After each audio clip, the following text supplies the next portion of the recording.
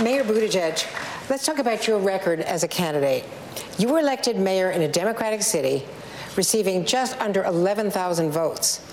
And in your only in your only statewide race, you lost by 25 points. Why should Democrats take the risk of betting on you?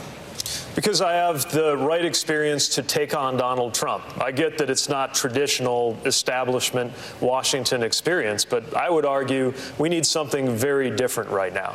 In order to de- defeat this president, we need somebody who can go toe to toe, who actually comes from the kinds of communities that he's been appealing to. I don't talk a big game about uh, helping the working class while helicoptering between golf courses with my name on them.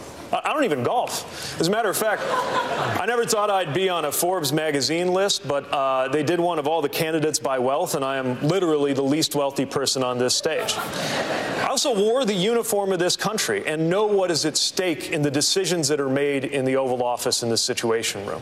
And I know how to bring people together to get things done. I know that from the perspective of Washington, what goes on in my city might look small, but frankly, where we live, the infighting on Capitol Hill is what looks small. The usual way of doing business in Washington is what looks small. And I believe we need to send somebody in who has a different kind of experience. The experience on the ground, solving problems, working side by side with neighbors on some of the toughest issues that come up in government.